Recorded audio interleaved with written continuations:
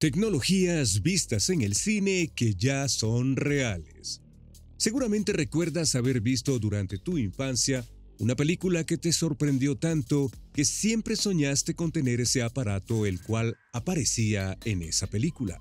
La ciencia ficción es uno de los géneros el cual explora más la imaginación humana y a los directores de cine les encanta proponer ideas sobre cómo será nuestro futuro. En este sentido, las películas pueden ser perfectamente una mirada hacia lo que vendrá para el ser humano y el cine es un ejemplo del alcance que tendrá nuestra propia vida en el futuro. Si eres un amante de la ciencia ficción o simplemente recuerdas con especial cariño un aparato que aparecía en tu película favorita, quédate a ver este video donde hablaremos de las tecnologías vistas en el cine de ciencia ficción que ya existen en la actualidad. Comenzaremos hablando de uno de los mangas más famosos del mundo como lo es Ghost in the Shell. Este manga es considerado de culto y es uno de los más queridos por los fans, gracias entre otras cosas a las innovaciones tecnológicas que se reflejan durante su historia. En el 2017, el director Rupert Sanders dirigió una versión cinematográfica interpretada por Scarlett Johansson.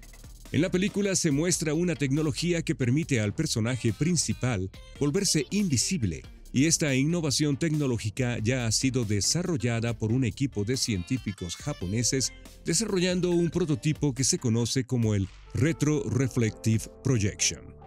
Esta tecnología permite crear un camuflaje volviendo invisible a quien lo utiliza a los ojos del humano, si bien esta tecnología aún no tiene una utilidad, quizá en el futuro sea muy utilizada. No todas las innovaciones tecnológicas tienen que ser aparatos que rompan los estándares de la vida y nos vuelen la cabeza. Muchas tecnologías pretenden resolver problemas del día a día y una de ellas es la tecnología propuesta por Michel Gondry en la película del 2004 Eterno Resplandor de una mente sin recuerdos. Esta película narra la historia de un hombre desconsolado por una ruptura amorosa, quien finalmente recurre a un borrado de cerebro para eliminar el recuerdo de su amada.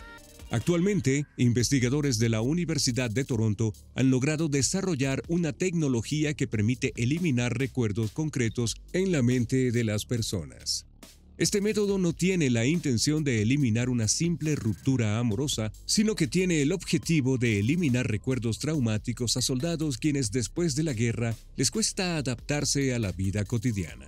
Gracias a esta tecnología se podrían eliminar recuerdos sumamente dolorosos para las personas que si bien no es tan inmediato como para lograrse en una sola noche, se podrá conseguir a lo largo de un proceso terapéutico y medicamentos. Sin duda, las películas de acción predijeron muchos de los artilugios que utilizamos en la actualidad, y el universo de James Bond no es la excepción. En la versión del 2002 llamada Muere otro día, dirigida por Lee Tamahori, se propuso la idea de un automóvil el cual se volviera invisible. Actualmente se está trabajando en un camuflaje que permita ocultar tanques, una tecnología que se pretende implementar en la guerra y ya hemos visto ejemplos los cuales logran su cometido. Steven Spielberg es uno de los directores que ha explorado la tecnología de una manera más amplia en el cine hollywoodense. Y Jurassic Park es un ejemplo de eso. Pero el día de hoy hablaremos de Minority Report, su película lanzada en el 2002. En esta película se recrea un sistema de publicidad que pudiera adaptarse a cada momento, presentando el comercial ideal para cada personaje en la película. Hoy en día las redes sociales de Internet son capaces de mostrarnos exactamente el producto que necesitamos o el que estamos dispuestos a comprar. No cabe duda que Internet superó a Steven Spielberg ya que no necesitamos andar por la calle para ver la publicidad ideal para nosotros. Basta con tomar nuestro teléfono móvil. Si te hablo de Ben Stiller como director y Jim Carrey como protagonista principal, quizá no se te venga a la mente la mejor película, o por lo menos no una de las mejores en el terreno de la ciencia ficción. Pero en la película de 1996, Un loco a domicilio, se plantea la idea de una Smart TV. Durante la película, el personaje principal habla de que en un futuro en las televisiones se podrá jugar videojuegos de manera online sin tener que salir de casa, teniendo la posibilidad de jugar con amigos sin tener que estar en el mismo lugar. Actualmente las televisiones sirven para mucho más que simplemente ver las comedias de nuestros personajes favoritos.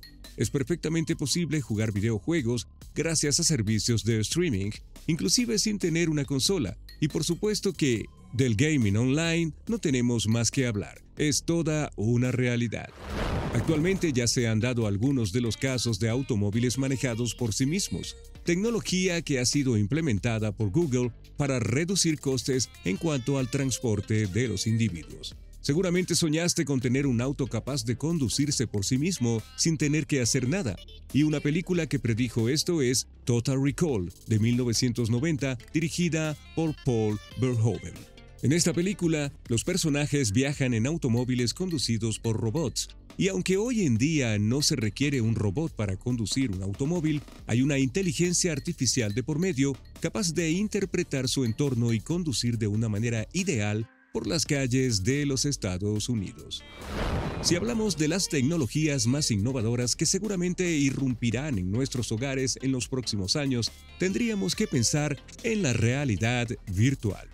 Hoy en día, la realidad virtual no solamente es aplicada en el mundo de los videojuegos, sino que también tiene múltiples aplicaciones en el sector educativo y el empresarial, llevando la utilidad de las gafas de realidad virtual más allá del simple entretenimiento. No cabe duda de que tener una experiencia inmersiva a través de un sistema de hardware es todo un sueño para las generaciones actuales y una película donde se retrata esta situación es El cortador de césped, estrenada en 1992 y dirigida por Brett Leonard, quien a su vez se basó en una novela de Stephen King. En esta película se narra cómo una persona puede conectarse a una realidad virtual y vivir experiencias sumamente realistas a través de dispositivos externos. Hoy en día los relojes inteligentes son una de las tecnologías que más personas usan y nos permiten contabilizar nuestro consumo de calorías, medir el deporte que hacemos y otras acciones como contestar llamadas, mandar mensajes, entre otros. Una película que predijo el uso de los smartwatch es Dick Tracy, estrenada en 1990 y dirigida por Warren Beatty. En esta película, el detective utilizaba un reloj inteligente el cual le permitía comunicarse. Hoy en día, un Apple Watch puede usarse para hacer y recibir llamadas a través de nuestra muñeca. Continuaremos hablando de uno de los mejores directores del cine actual, como lo es James Cameron, quien es capaz de implementar las tecnologías actuales para crear producciones cinematográficas adelantadas a su tiempo. El día de hoy hablaremos de su película de 1989 llamada El Abismo. En esta película se retrata una aventura subacuática en la cual se descubre una civilización extraterrestre en el fondo del mar. Una de las innovaciones tecnológicas representadas en la película es una variedad de agua que permite a los buzos respirar, dándoles la facilidad de llegar más al fondo del mar sin requerir oxígeno. Actualmente investigadores alemanes implementaron un sistema de ventilación líquida, la cual permite una mayor conservación de oxígeno para que los buzos llegaran a una zona más profunda. Sin duda uno de los clásicos que no podía faltar en un video de este tipo es la película Volver al futuro. En este caso hablaremos de la segunda parte estrenada en 1989 y dirigida por Robert Zemeckis. No hay mucho más que decir de este gran clásico, pero el día de hoy hablaremos de una tecnología que perfectamente puede estar siendo usada en este momento. Seguramente recuerdas aquella escena donde despiden a Marty McFly por realizar un negocio fraudulento. En esta escena se demuestra cómo el personaje puede tener una videollamada con su jefe a través de una pantalla. Hoy en día las videollamadas son utilizadas todos los días y sin duda estamos viendo tan solo la punta de las tecnologías que se vienen, basadas en esta fascinante franquicia. ¿Qué te ha parecido lo más interesante del video de hoy? Déjanos tu opinión en los comentarios. No olvides darle like, suscribirte a nuestro canal y activar la campana de notificaciones. No hay nada malo en ser singular.